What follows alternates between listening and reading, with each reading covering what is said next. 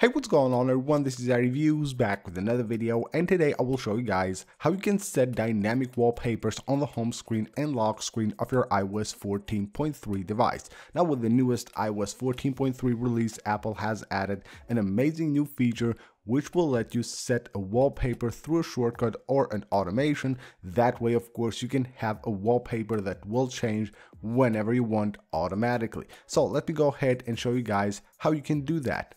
Alright, first of all, you will need a shortcut to set the wallpaper. Now this is the new feature of iOS 14.3. It allows you to set a wallpaper through a shortcut. Now what I suggest you do is go ahead and download this shortcut, which I will add right down below in the description of the video. Now once you have it downloaded to your device, what you need to do is tap the little three dots right there and go ahead and pick the album right here. You can see where it says album is backdrops. Of course, you can choose your album there. Now, all you have to do is just tap on the name right there and it will show you a full list of all the different albums that you have on the camera roll of your iPhone. That way, of course, you can choose the album from where the wallpapers will be set. Of course, you can create a new album with your favorite wallpapers and then choose that as the wallpaper album right here. Now, once you have done that, you're good to go. You can see now this shortcut right here will change the wallpaper of my device. If I just go ahead and run the shortcut,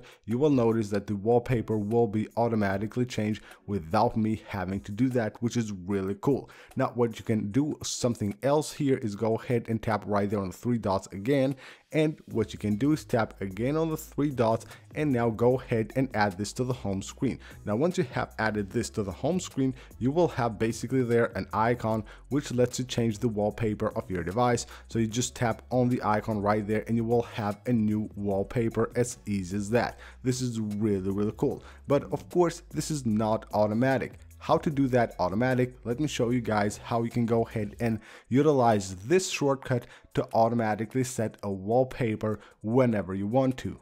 What you need to do is go to the Shortcuts app and go to Automations. Tap on Create Personal Automation and right here you can go ahead and choose the exact time when you want the wallpaper to change. So let's say I want the wallpaper to change right here, let's say here at 16. So let's just go ahead and go with 16. Now we're good to go. What we have to do here is just go ahead and choose daily if you want that to repeat every day. Of course, you want that, or you can even choose sunset to sunrise if you want to have like a different wallpaper with the dark mode and a different one with a light mode. So go ahead and tap next right there and tap on add action. Once you tap on add action, go ahead and search for run shortcut. So just search here for run shortcut and you will be good to go. So run shortcut and just tap right here. And now of course we'll have to choose the shortcut, tap right there and just choose the shortcut that we just added. Tap on the next button.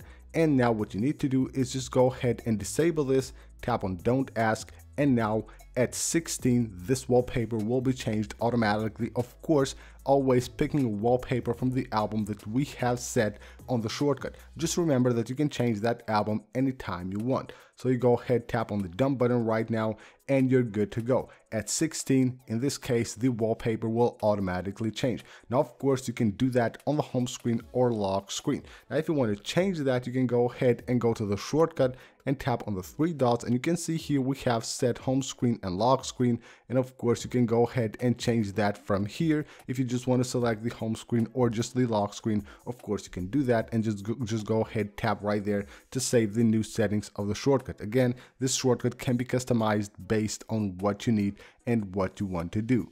So that is it for this video guys. This is how simply you can create a dynamic wallpaper set on the home screen of your iOS 14 and lock screen of your iOS 14 device. It is very very easy. Just go ahead download the shortcut from the link right down below and it is good to go. So that's pretty much it. Thank you guys for watching. If you found this video helpful make sure to leave a like. Also don't forget to subscribe for more and I will see you guys on the next one.